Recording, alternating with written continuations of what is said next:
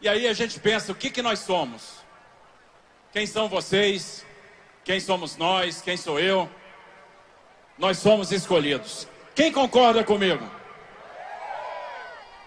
Não, ali teve um pessoal que não concordou, não. Quem concorda que nós somos escolhidos?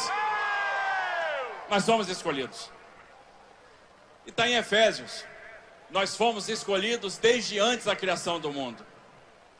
Nós fomos separados e justificados por eles. E esse negócio de ser escolhido aparece na palavra várias vezes.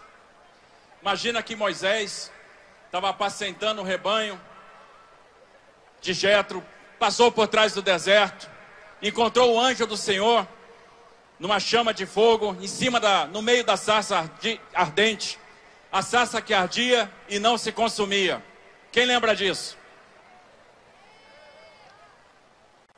E o Senhor fala com Moisés. O Senhor primeiro se apresenta. Primeiro ele fala: tira o sapato dos seus pés, porque a terra aqui é santa. A terra aqui é santa. Depois, ele se apresenta: Eu sou o Deus do teu pai. Eu sou o Deus de Abraão. Eu sou o Deus de Jacó. Eu sou o Deus de Isaac.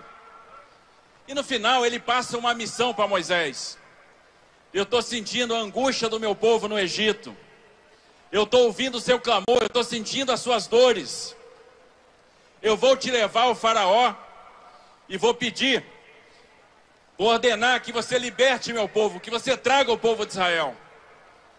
E o que faz Moisés? Moisés duvida. Moisés fica com medo. O que, que ele fala? Quem sou eu para ir até o Faraó e levar o povo de Israel? E o que, que Deus responde para ele? Eu sou contigo. Amém? Eu sou contigo. Quem aqui às vezes acha que não tem força, não está pronta para uma determinada tarefa, e Deus diz: Eu sou contigo. Nós às vezes, todos nós, dirigentes, políticos, às vezes a gente sente capaz de cumprir nossas tarefas. A gente também vacila na fé. E aí a gente tem que se lembrar que Deus é contigo. Moisés foi lá cumprir a missão do Senhor. Moisés foi levar o povo de Israel. Se deparou com dificuldade, pediu ao Senhor, clamou ao Senhor. E Deus chegou para ele e disse assim: Por que, que você pede ajuda? Levanta seu cajado, levanta seu bastão, estende ele sobre o mar, que o mar vai se abrir, vai se dividir, o povo de Israel vai passar no caminho, vai passar a salvo. Então o que eu falo para vocês no dia de hoje?